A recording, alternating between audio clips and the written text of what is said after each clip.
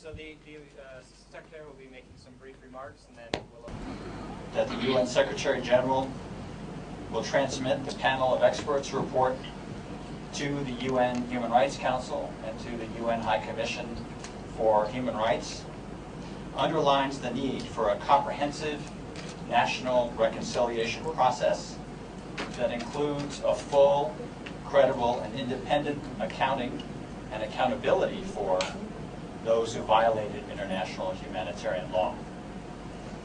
We hope that the Lessons Learned and Reconciliation Commission report will address the allegations that have been raised in the Secretary General's panel of experts report.